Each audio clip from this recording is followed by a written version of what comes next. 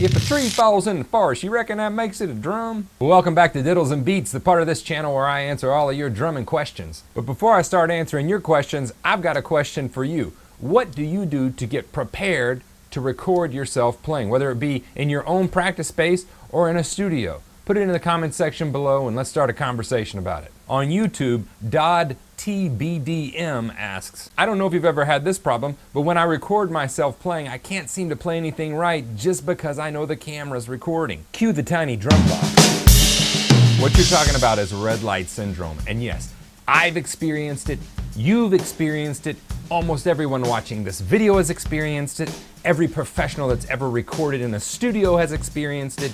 I'm telling you, it's just human nature. But to quote G.I. Joe, knowing is half the battle. So as long as we know it's a problem, we can go about fixing it. Here's three tips that I use to help me get over red light syndrome. Number one, record your practice time. I know for myself, whenever I go in for a practice time, I'll practice two, three, four hours at a time.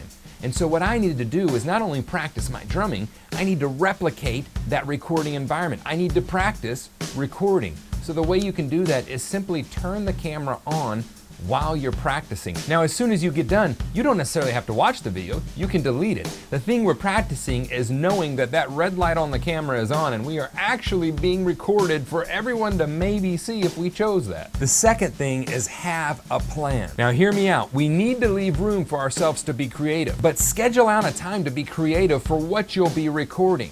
Mark out some fills, some grooves that you like, and then notate and remember those creative things that you came up with so that when you get into a stressful environment like the studio or recording yourself in your own home practice studio, you're not going to freak out. You'll have somewhat of a plan. Let me give you two examples of coming up with a very quick plan under pressure cooker situations. I was on a demo session here in Nashville. We were recording four or five songs in the span of about three or four hours, as well as anything else the client wanted. Now, after we cut a couple tracks, they told me, okay, now we just need to do a drum take. They were needing some drums to put behind a commercial. So I asked the client, I said, what did you have in mind? And they said, something fast with some drums and some cymbals.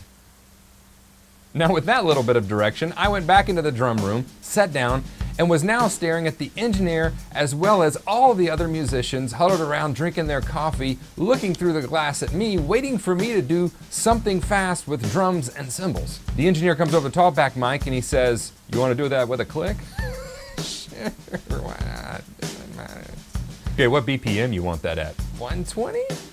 So in that moment, I very quickly had to come up with a plan. I had to chart out in my head right before we cut that, okay, I'm gonna do this, I'll go into this section, and then I'll come out maybe they'll like it. And so at 120 BPM, I went into a tom groove with some cymbals, and at the end of it, they loved it. Situation number two was when I was working with a Christian songwriter, and I asked her about this certain song I was having a little trouble understanding the direction that she wanted to go. I said, Do you have any certain direction that you're wanting to go with this? And she said, I just want the drums to be prayerful.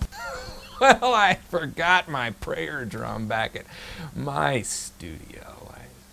So I sat down at the drums and had to figure out very quickly and plan a prayerful drum part. It would have been a disaster though if they had pressed record and I didn't have some sort of a plan going into it of what I wanted to do. And let me reiterate, there's always room for creativity, but I have to realize at times what the project is for. 99.9% of the time, we are not recording a Love Supreme. Coltrane is not in the other room. I am not Elvin Jones. So if I'm recording a commercial jingle or a demo for a songwriter, I need to understand my role and come up with a part that will suit that so that when I get into the recording process, I can work on accuracy and making sure that track is as good and clean as it can be. And my third tip would be warm up. Mentally and physically, I play so much better when I'm warmed up. Get to the studio 10 to 15 minutes early, take the time, warm up. I have a couple of short warm up routines that I go through that not only gets me physically warmed up, but focuses me mentally so that I can get prepared for that session that I'm about to do.